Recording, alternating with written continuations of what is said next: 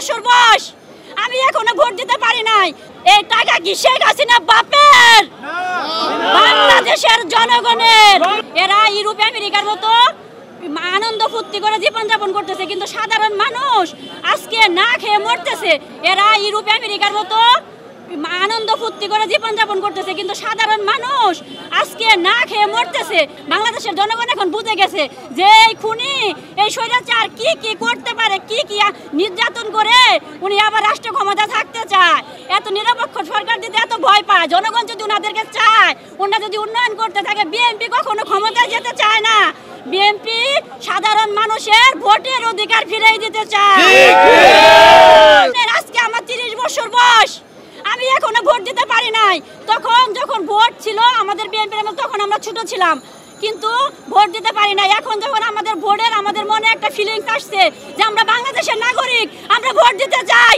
তখনই দেখি এই চুর রাত্রে সব ভোট ব্যালট বাক্স বইরা এর চুরেরা বিনা ভোটে নির্বাচিত হয়ে আজকে পার্লামেন্টের এমপি হয়ে এই জাতীয় সংসদ রে একটা বাজে সংসদ বানাই ফেলছে অবৈধ সংসদ বানাইছে এই সংসদে সংসদে কোনো এমপি নাই সব আছে।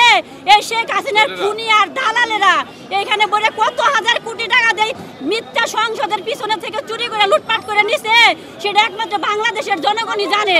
এই টাকা কি শেখ হাসিনা বাপের?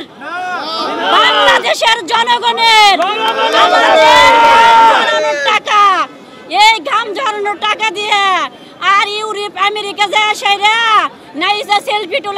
দরকার নাই। মানে মানে আপনি পদত্যাগ করেন। কিসের মামলা? কিসের? এগুলো মামলার একজন রাষ্ট্রপতি যে বলে যায় যে বাংলাদেশের মধ্যে কোনো সব হয়েছে দুর্নীতিবাস একজন একজন একজন বিচারপতি বলে যায় বাংলাদেশে কোনো নিজের পিছনে পিস্তল ঠেকায় রায় লেখানো হয়। এই কিসের কিসের ভয়? আমাকে গ্রেফতার করলে।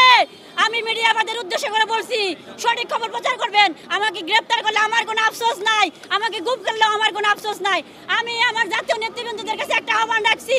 আমার একটা ছেলে আছে, খুব ছোট, সে বাসা থেকে আপনার আমাকে যদি গুম করে ফেলা হয়, আমি যদি দেশের জন্য স্বাধীন হয়ে যাই, তাহলে আমার ছেলেটা সার্বিক খোঁজ খবর আপনি অবশ্যই রাখবেন যাদের কাছে তুলে ধরবেন যে সরকার বিরোধী কথা বলার জন্য সরকার বিরোধী আন্দোলন করার জন্য আজ সে রাজপথে শহীদ হয়েছে।